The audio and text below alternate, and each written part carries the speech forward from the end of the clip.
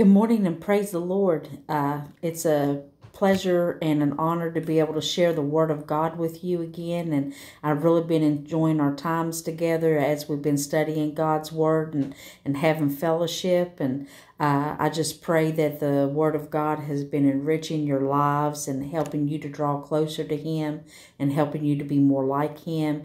I just pray that uh, some of the things that we've been uh, sharing together that uh, has been encouragement to you and you've been able to take it and encourage others with it as well.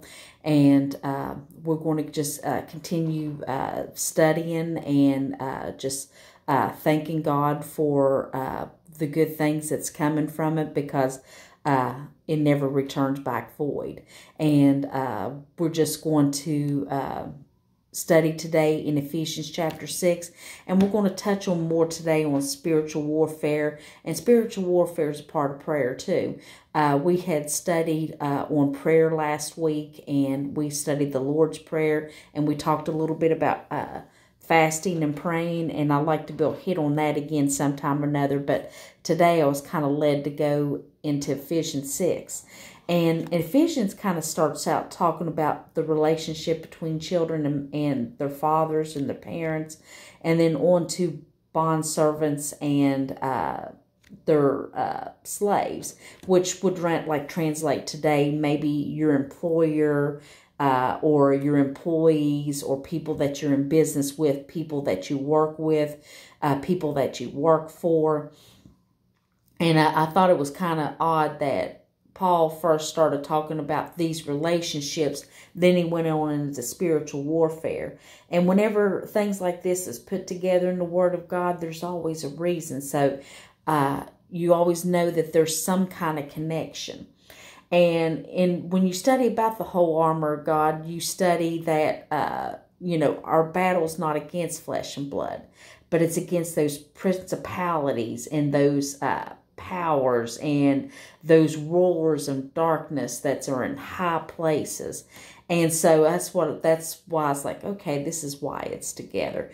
Because uh, I got to thinking, because some of these relationships, like with your children or with your parents or people that you work for or people that work under you or etc., sometimes these are the relationships that can have the most conflict uh, at times. And uh, it was just a good reminder to let us know that, hey, our, our battle is not against flesh and blood.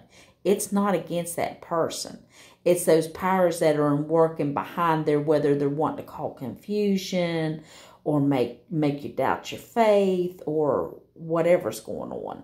And the word of God is so powerful that not only is God so good that he's there for the good times, the bad times, the big calamities in life, but he's there for the everyday routine there too. God cares about, you know, your daily routine when you get up and when you pray and when you prepare your meals or you clean your house or you take your kids to school. All of these things matter to him. And so I thought it was, you know, kind of fitting that they was talking about relationships with people before they went into spiritual warfare. And and this is the kind of route that we're going to take today. Those uh, you know uh, seeing things like god sees them and seeing through the eyes of god and not through uh, our emotions or what we're feeling or if we're feeling anger disgust etc you know actually looking through it like you know, the, with this, like the, like through the eyes of God. Help us to see people that uh, that are, you know, crisscrossing our lives on a daily basis. Help us to be able to see them the way Christ sees them. Christ loves them and dies for them, even though they may be irritating to you, you know. So, but but we still have to love them anyway. And so that that's kind of like the route that we're going to be studying today. And I'm going to go ahead and I'm going to open this up in prayer. Father, we come before you in the name of Jesus, and Lord, we just thank you and praise you, and we just magnify and exalt you Uh, for this is the day that you've made, and we're going to rejoice and be glad in it. Father, we just thank you and praise you that we have an opportunity to be able to study your word. And, and I just pray that your Holy Spirit would just illuminate it and to teach us and to teach us what we're to know out of this word. Help us to build plot to our lives, Father, and help us to build encourage and teach others as well, Father. Father, we just want to give you all the honor and the glory and the praise. And, and Lord, I just pray that this word will go deep down in our hearts so that way we may not be able to sin against you. And, and Lord, I just pray that we'll uh, continue to decrease and that you'll increase in our lives. And Father, we just want to give you all the honor and the glory and the praise for it all. And just bless this time that we have together just studying your word, Father. And I just ask these things in Jesus' name. Amen. And we are, we're going to get uh, started right in on uh, Ephesians chapter 6. I'm just going to get my verses here pulled up. I'm studying now the New King James Version, and so some versions might have some wording that's a little bit slightly different, but the meaning is still there. And we're going to start out in verse 1. We're going to do the entire chapter today hopefully. It says, Children, obey your parents in the Lord, for this is right. Honor your father and mother, which is the first commandment with promise, that it may be well with you and may, may live long upon the earth. So this is a promise. If we obey our parents and honor our parents, we'll live long upon the earth. And it says, And fathers, do not provoke your children to wrath, but bring them in up in the training and the admonition of the Lord. And that is true. Uh, so this is a two-part way. You know, children are to obey their parents and they are to honor. But hey, fathers, and, and I say even mothers too, don't provoke your children to wrath. Don't be so strict and don't be so hard on them that you actually turn them away from the gospel and that you harden their hearts and, and you just make them feel angry toward you, life, and God.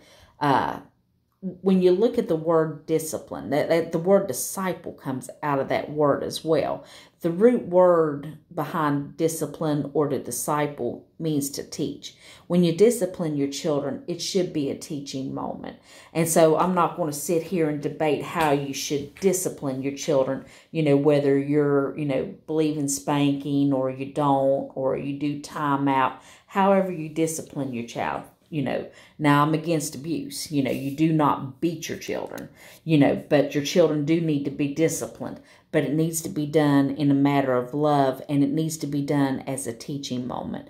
No matter what your child has done you should love them unconditionally because our father loves us unconditionally no matter what we do. You can make it clear i don't like what you've done i don't like your choices but i love you. And and then you need to build teach them why so that way they can see where you're coming from you know you can't do this because it's dangerous or you can't do this because it goes against God's word. You can't do this because it will bring trouble in your life. You know, sit down and explain to your children why we have these rules, you know, and that will help them to understand. They probably still will not like it, but they will understand. And they will understand and, in time as they grow older they'll know that you had their best interests in heart and that you was just trying to protect them and to do right by them and so so this is very pivotal. Children do need to obey and honor their parents but parents also need have their part to do as well.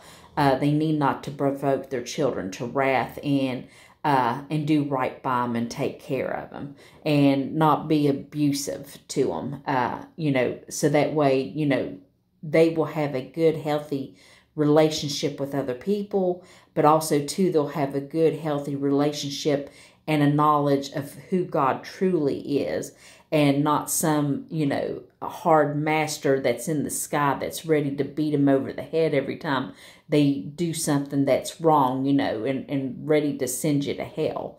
Uh, so we need to be loving with our children. You know, we need to discipline, but that word discipline means to teach.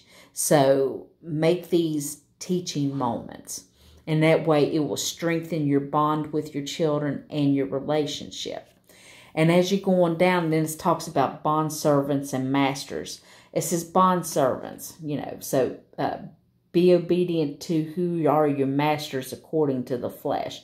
You know, they could be your boss or whoever, you know, your you know, pastor, etc. With fear and trembling, in sincerity of heart as to Christ, not with eye service as men pleasers, but as bond servants of Christ, doing the will of God from the heart. So, in other words, when your boss is looking, don't, you know, just don't be a good uh, employee when your boss is looking or with anything else. You know, a, a, true servant of God is doing the right thing even when somebody is not looking. So that that's what it's talking about, the dealing, your own dealings, that you're doing the right thing, whether somebody is looking at you or not. Uh, and it's, you know, so not with thy service, service at, as men pleasers, but as bond servants of Christ, doing the will of God from the heart. Because our work is unto the Lord with goodwill doing service to the Lord and not to men. That's what we was talking about. Knowing that whatever good anyone does, he will receive the same from the Lord, whether he is a slave or free. So, uh, you know, it, it's all about doing the right thing even when people's looking. And you know what? that boss of yours may be an ungodly person or whatever, you need to pray for them, you know, and still do the right thing because your work is unto the Lord, not unto that boss or whoever has authority over you for whatever reason. You do your work as unto the Lord no matter what they're doing. And that could possibly win them over. So uh, the the so we need to keep these relationships now in mind as we start studying into the full armor of God. And it's but then again, there's instructions to you know uh, the masters or your boss or whoever's in authority over you as well. And you masters do the same things to them giving up threat uh, giving up threatening knowing that your own master is in heaven and there's no partiality with him. So you know if you are a boss and you do have employees or if you have people that's underneath you you know in, in a church wherever you know let them know that hey you need to uh, treat them right because your master's up in heaven and he has no partiality. He loves them as much as he loves you. You know, no matter where they are in life, you know, don't treat your employees like they're beneath you. They're not. There is no partiality with God. There's no Jew, there's no Greek, there's no male, there's no female. We're all equals. I don't care what color your skin is, whatever.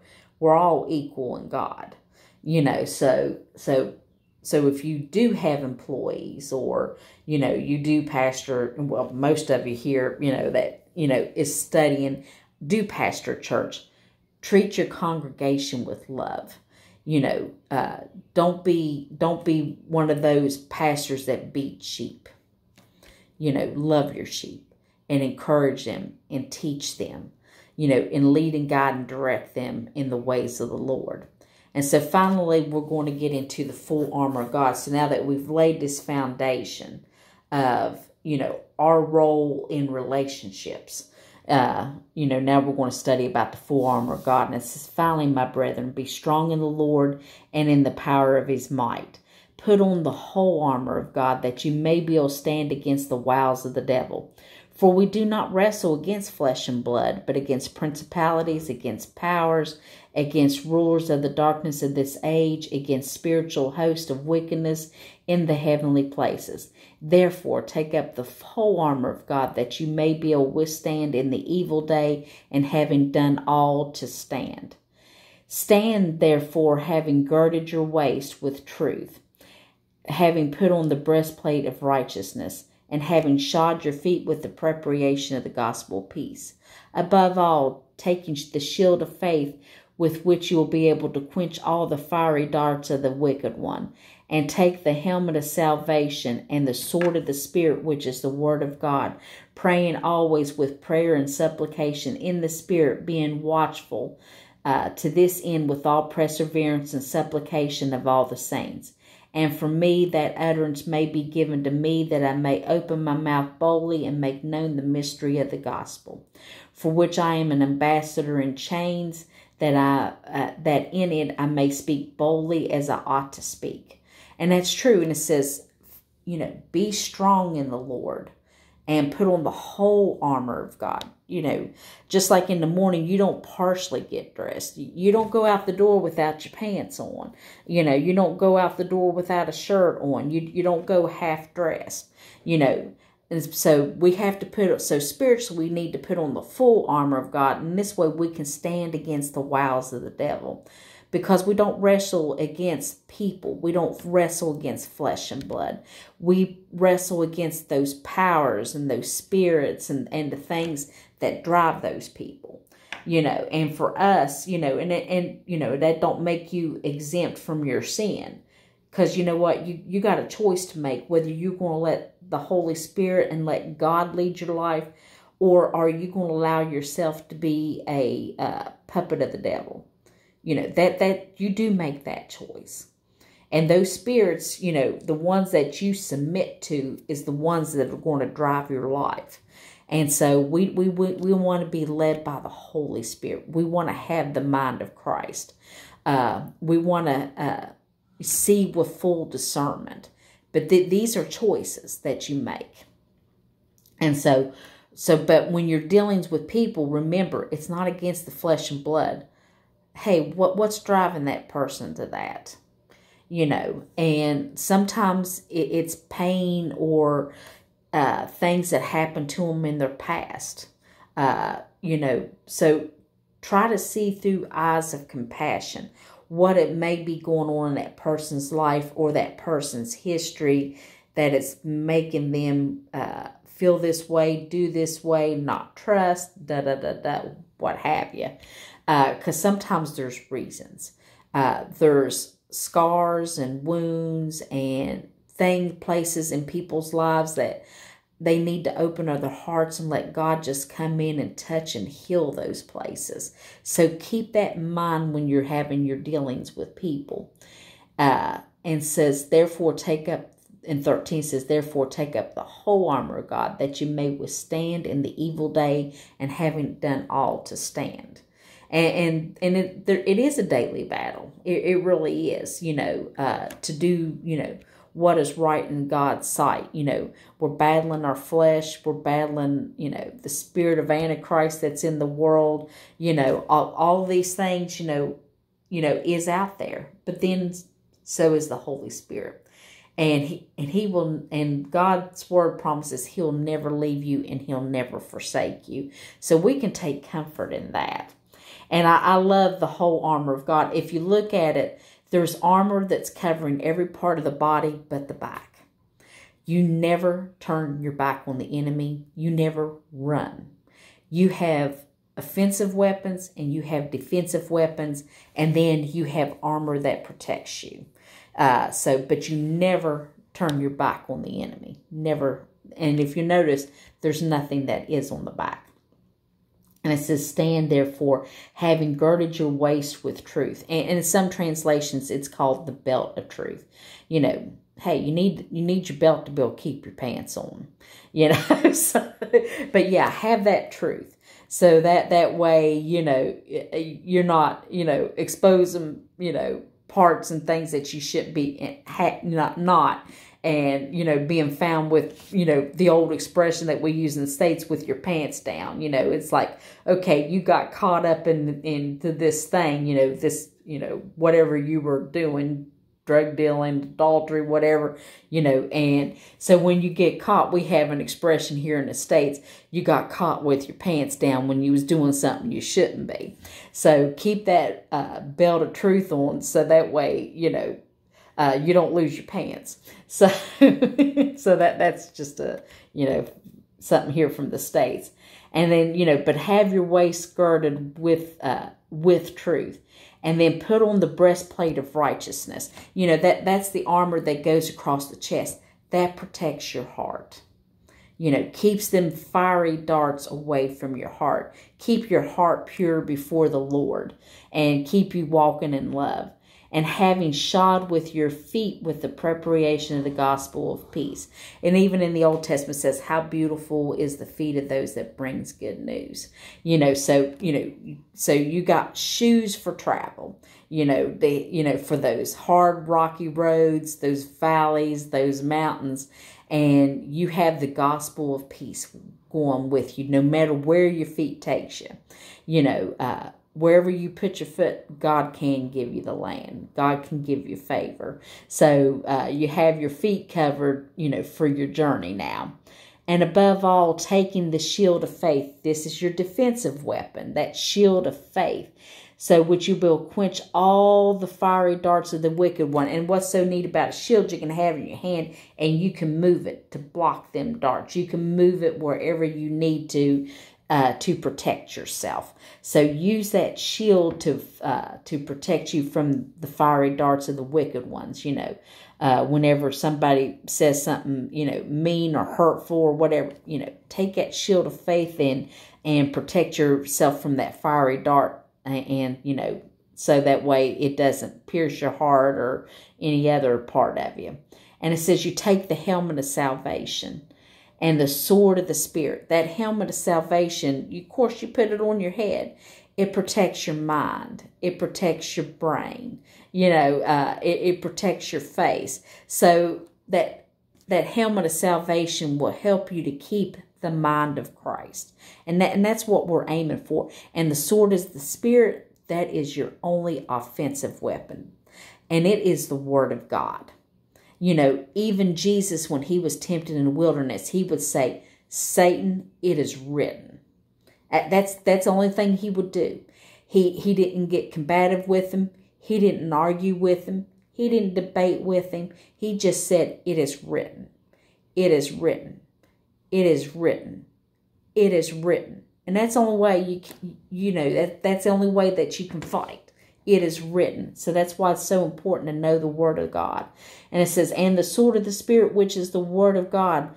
And then here it goes, praying always with all prayer and supplication in the Spirit. Uh, you know, if you're spirit filled, yes, that means, you know, basically praying in the Spirit, praying in tongues. You know, so that that's part of your sword of the Spirit, knowing the Word of God and spending that time in prayer, being watchful to this end with all perseverance and supplication for the saints. You know, we, we pray for ourselves, we pray for each other, you pray for your church, you know, you pray for everything. And for me, that utterance may be given to me that I may open my mouth boldly to make known the mystery of the gospel, for which I'm an ambassador in chains, that I may speak boldly as I ought to speak. And you know what? That applies to us as well you know, wearing this full armor and using our sword of the spirit and praying at all times, it can it will help us to speak the word of God boldly when it is needed. You know, well, and no matter it's no matter what you're calling. We're all called to share the gospel of Jesus Christ, whether you're a pastor or not, or whether you're an evangelist, a prophet, a teacher, you know, little uh, sweet grandma we're, you know, I don't care who you are, we're all called to be ministers of the gospel in one form, fashion, or the other. We all may have different callings, but the end of the day, it's to all bring the people to Christ. Uh, that's what all of our callings do that work together to bring people to know to come to know Jesus Christ and and that's the end of you know that that's that's the whole purpose for everything. Any of the fivefold ministry gifts, any of the lay gifts, you know, whether you're a deacon or, uh, you know, uh, an usher or whatever you are, or you're just a plain housewife, or you're you're just a husband that goes out and just works every day to provide for your family. We're all ministers of, of the gospel of Jesus Christ. And we also learned up, you know, in part of Ephesians about the bond servants and the masters there's no partiality in him. So no matter what, I, I don't care if you clean toilets. You're just as valuable to God as the president of your nation. You know, and you just need to do whatever God has called you to do. And that's important to him. And then, then it goes on down to 21. Uh, but that you may also know my affairs and how I'm doing. Uh, and, and Paul's closing his letter here uh, says that, but now that you may also know my affairs and how I'm doing. Uh, Tychicus, a beloved brother and faithful minister in the Lord will make these things known to you, whom I have sent for uh, for this very purpose, that you may know of our affairs and that he may comfort your hearts. Peace to the brethren and and love with faith from God the Father and the Lord Jesus Christ. Grace be to all those who love the Lord Jesus Christ in sincerity. Amen. And that's the way how Paul closed out his letter. So he, he you know, in this letter, he was talking about relationships, like relationships with parents and children, relationships between like a boss and employees, or anyone who has like authority in any kind of capacity. Then he was talking about having the full armor of God, so that way you can uh, avoid these fiery darts and you know, he stressed that your battle wasn't against flesh and blood, but it was against principalities and, and powers and, and rulers in wicked places. Uh, so he was letting us know that, you know, hey, our battle is not with people. But then he wanted to close, you know, because, you know, people's hearts needed to be encouraged because you know the church was under so much persecution. Uh, people was becoming martyrs for their faith. Paul was in and out of prison and different things. And so Paul would send servants, like in this one, like Tychicus, just to go comfort the people and, and let them know that, hey, what's going on with Paul, how Paul is doing, you know, and uh, Paul was still living the faith, you know, uh, so that way to, to keep their hearts encouraged with all the things that they were battling with. And so, um, you know, nothing is new underneath the sun. People in the early church had struggles just like we do today. Sometimes they, you know, uh, the battles may look a little different, but it, it's still from the same enemy. And so uh, the enemy's always trying to destroy the church and you know god but and but he knows god's not gettable so the only one he can try to attack is his kids because we're made in his likeness and he's in his image and so I, I, don't want you looking for like the devil under every stone because he's not omnipotent like God is. God can be everywhere. He can't. But now he's got little minions and demons and, you know, umps and spirits and, you know, things like that that does a lot of his bidding. But the devil can't be everywhere. Devil is not equal with God in no matter or capacity. Uh, you know, Satan is the father of lies. And he is, you know, the root of all evil. Don't get me wrong. You know, um, you know, don't be ignorant of his devices, but also know that he's not more powerful than God. And only one third of the angels fell. So that means there's still two thirds on our side. So uh, everything is still stacked up against him. And God is good and God is gracious. Uh, and so don't live in fear of him, but don't be ignorant of his devices. Keep your eyes open and keep your uh, and keep your uh, keep the word of God near to your heart at all times, and pray for discernment and pray for wisdom and pray for guidance and keep that full armor on so that way you can avoid the fiery darts of the devil you know and where and like i said if you notice go back and read through here there's nothing that covers your back. So never ever turn your back upon the enemy. And so i hope this kind of encourages you today and to kind of make you think uh, about you know you know picking your battles. You know your battles are spiritual ones. Your battles aren't against your loved ones. It's, they're not against your neighbors. They're not against with people that you work with. Or they're not even just strangers that you meet every day. Your battle is not with them and it's not against them. Uh, your uh, enemy is satan. And your enemy uh, is all you know the you know the enemies of the cross you know so uh, so love people and hate sin. so, but uh, I, I pray this has been encouragement to you. I hope you've learned something from this today. And I, I hope that you go back and you read Ephesians 6 for yourself. Because we can sit here and talk about things and teach things, but sometimes when you take these verses later and go study them for yourself, the Lord will show you uh, revelation and things that are just personally for you. So, uh, I go, you know, I encourage you to go back and study Ephesians 6 more. In fact, study the whole book of Ephesians. You can't go wrong with it. It's, you know, all 66 books are a good book to read. So, uh, but yeah, I want you to be encouraged and I'm praying for you guys and I love you. And we'll go ahead and we'll pray. Father, we just come before you in the name of Jesus. And Father, we just thank you and praise you for this time and your word and, and help us to reflect upon your word and help us to remember your word. Help us to apply your word to our lives, Father.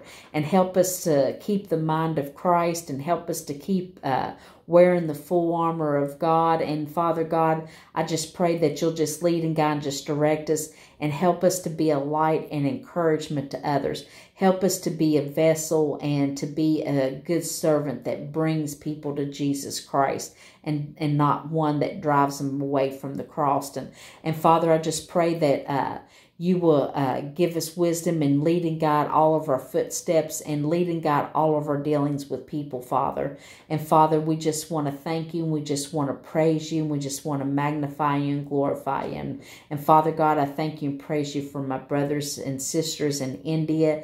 And I just pray that you'll just bless them and give them favor and keep them in good health. And Father God, and that you'll supply and that you'll take care of all their needs this day. Father God, I just pray that you'll just wrap your arms around them and just let them know how much you love them. And Father God, I just pray that uh, you just encourage them and that you'll just strengthen them, Father. And Father, we just want to uh, just magnify you and just glorify you in Jesus' name. Amen. Love you guys, and I'm praying for you, and I hope to share the word of God with you again soon. Bye bye.